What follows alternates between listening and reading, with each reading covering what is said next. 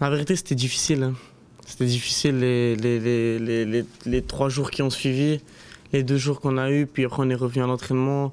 L'entraînement, c'était difficile. Tu sentais que l'atmosphère, qu'on était vraiment tous déçus, que qu'il fallait, fallait vraiment passer au-dessus parce qu'on savait aussi que maintenant les playoffs c'est très important, qu'un club comme le Standard doit, doit, doit gagner ses playoffs 2, doit, doit jouer l'Europe l'année prochaine. Donc on, on sait ce qu'on a à faire, on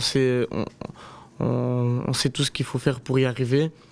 Maintenant, maintenant je ne te mens pas que le match, euh, que, le on va le préparer de la meilleure des façons, on va tourner le bouton et, on sera prêt pour samedi. C'est un petit tournoi qui a une, euh, pour moi une saveur de Playoff 1 parce que le Ostende a fait une belle année. Gantoise, quand tu vois son effectif, et Malines, voilà, c'est un club qu'on connaît en Belgique, que tout le monde a envie de jouer là-bas et d'y aller. Donc, euh, il faut faire le job. Aujourd'hui, à notre position, on veut monter d'une place. Si je considère qu'on est sixième, il faut terminer cinquième. Et les trois premiers matchs, c'est toujours important pour connaître comment ça marche en Belgique, les playoffs. Les trois matchs, ça permet à chacun de se jauger, de voir où est-ce que tu es, parce que sinon, si ça commence pas bien, il y a cette lassitude peut-être qui fait que la deuxième partie est, plus à l'aise. Mais pour nous, ce ne sera pas le cas parce que voilà, on veut, on veut le faire vraiment. On veut, on veut que, l'équipe puisse jouer l'Europe l'année prochaine en Conference League.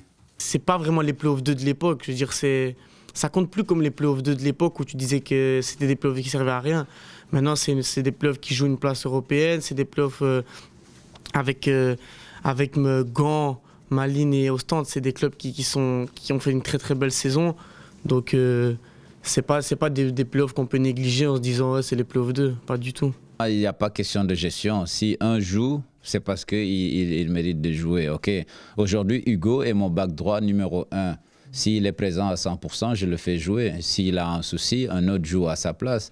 Moi, je ne suis pas dans la gestion pour dire, je ne peux pas dire je veux jouer les playoffs 2 à fond, le gagner et commencer à mettre euh, deux équipes, trois équipes différentes. Non, euh, je suis dans l'optique de dire... euh, L'équipe qui me correspond à 100% qui peut gagner, les joueurs qui doivent jouer à 100% vont jouer. Il faut, c'est un match comme un match de phase régulière, donc il faut jouer pour gagner. Et demain, c'est ma meilleure équipe qui jouera en fonction de l'adversaire, en fonction de ce que je sens qu'ils peuvent m'apporter. Ça compte beaucoup pour moi.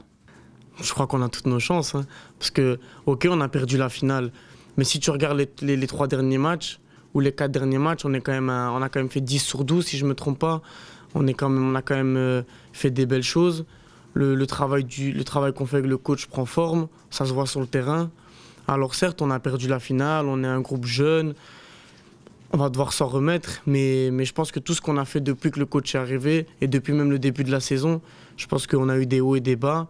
Mais, mais le travail commence à, payer et on, on voyait les derniers temps les résultats et la façon qu'on jouait aussi qui était, qui était, qui était bien. Donc euh, je pense pas qu'on doit se poser des questions, on doit juste continuer à être nous-mêmes, jouer notre jeu et que, et que et tout va, ça va aller.